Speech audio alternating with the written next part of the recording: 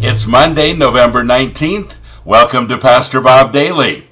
So, I need to vent a little today. Is that okay?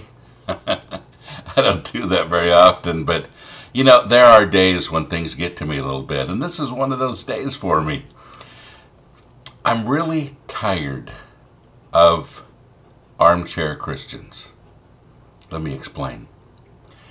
You know, the ministry that I've been involved with for so many years is very controversial. People love to take pot shots at me. I'm used to that. They don't feel good. Uh, some of them hurt. Uh, many, many are unjustified, and yet people still do it. And you know, I'll have people that, and this just happened, people that follow me from one media to the other, from YouTube to Facebook to Twitter, you know, whatever, and uh, and then try to get me to repent that I'm a false prophet, that, you know, all this stuff. And uh, basically because they really haven't taken the time to research me very much or to find out what I really believe or where I stand or, you know, listen to a couple videos and there wasn't enough scripture in it. That was one of the problems. You know, there are all kinds of people that have all kinds of opinion. It's kind of sad. You know, I'm at the point in my life where I realize that some people can be reasoned with, some can't, and and uh, I get really tired of the bullies, and they are bullies. And so I simply delete them and block them. And uh, you say, well, Pastor Bob, maybe there was a chance. You know, there could have been. But, um, you know, that kind of negativity really um, paralyzes me sometimes. You understand what I mean? And so if I feel like I can have a healthy discussion with someone, I will always do that. But armchair Christians, the Christians that sit in their social media and have a lot of opinions and are very condemning and continue to sit. You know, I've learned something about most Christians. When we're involved, when we're active, when we're giving of ourselves, we don't have time for that kind of stuff. Seriously. And, you know, everyone is entitled to their opinions, and everyone has opinions. But, folks, there is a big difference between your opinions while you're sitting in front of Facebook or YouTube or Twitter or whatever it might be, and your opinions when you're out there doing something about it. That's important. And you need to understand that disconnect because it's getting huge. You know, one of the ministries you know that I'm involved with is the homeless ministry and here in Nashville we've stepped it up again. You know, we're we're probably at about 4,500 meals per month right now. Uh, a lot of time on the streets, and I don't mention that to say, look at me, I'm doing a good thing.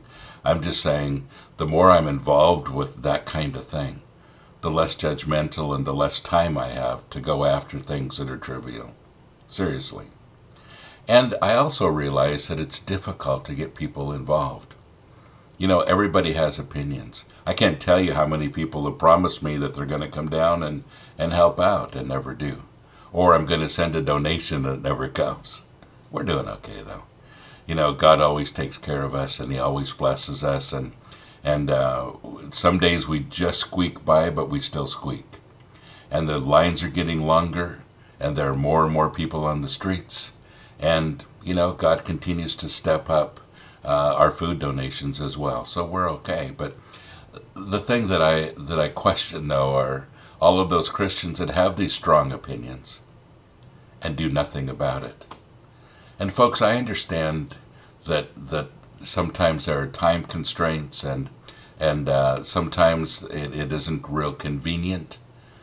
But to continue to be an armchair Christian, to not go out and do something about your faith, to not be active with it, to simply hide behind the screen on your computer, or maybe simply be in your church and not be outside of it at all, is really a disconnect.